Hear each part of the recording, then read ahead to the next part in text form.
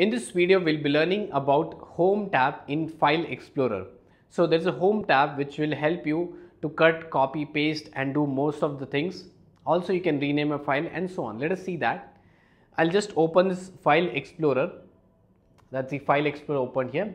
I'll take you to this place that is this PC which will have this folders which are frequently used folders here desktop documents and so on along with this we have something as drives devices and drivers. There are some devices if you connect let's say your pen drive your hard drive anything that will be shown here. Also your drives which are done partition let's say C drive and D drive where you store all your data your files your folders your softwares everything.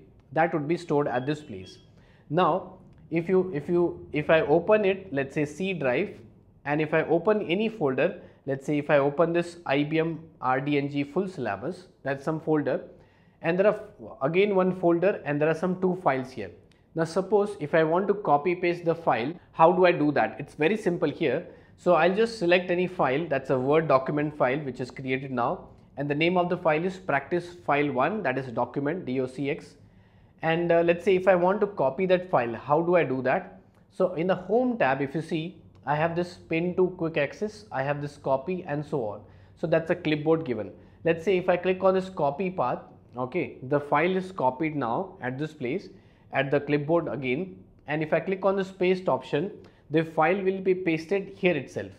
Okay if I click on this paste you see file is pasted at this location practice file 1 that is copy. Copy of that particular file now at any point of time if you think you do not want to paste here you want to paste in some other location let's say you double click and open this file okay the folder and now if you click on this paste you see practice file 1 document. So if I click on paste it will keep on pasting it.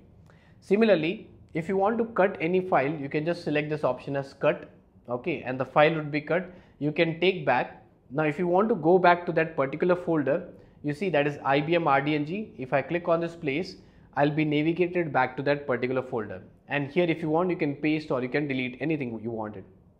Now, here if you see that's a cut, copy path and paste shortcut that's again here.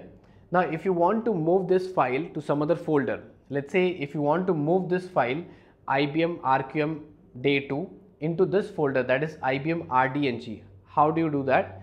Select the file click on this option move to and uh, you can find here the option as yeah you select this option here as this PC and in this PC it says the target document can't handle this type of this one. So I'll say move to some particular soft skills PPT folder. So that PPT folder will be having this file that is practice file copy okay that will be pasted there. Similarly if you want to copy that okay you can just copy this path. I can just select this file and I can say as copy to. So you can copy to that particular folder. Remember I have said as move to. Move to means it will cut from this folder and it will paste the file into some other folder which I have given there. That is soft skills PPT so if you go there you can find that that PPT itself. So next is if you want you can just delete a file. Let's say if I want to delete this file I can just select this and click on this delete option and the file will be deleted automatically. Okay. Similarly, if I want to rename a file, I can just select this option as rename. I can click on this place and I can just type here some name 2 or I can say as 2 enter and now the file name is practice file 12.docx okay this is how we can create it similarly there are few more options which are used here if you keep on seeing you'll get all the options here let's say if you want to create a new folder you just click on the new folder and you can give the name as folder 1 right? You can create a folder 1 here itself. Now apart from folder if you want something else to be created you can select this option as new items.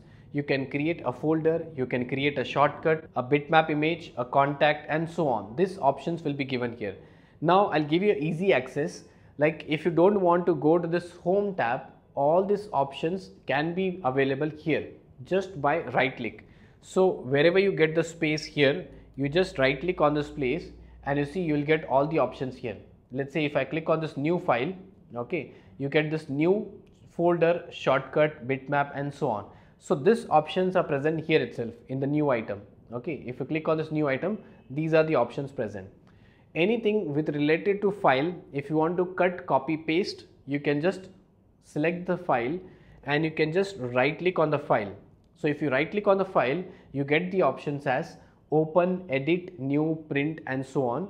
And similarly you will get the option as cut copy create shortcut rename and so on. All these properties will be getting it.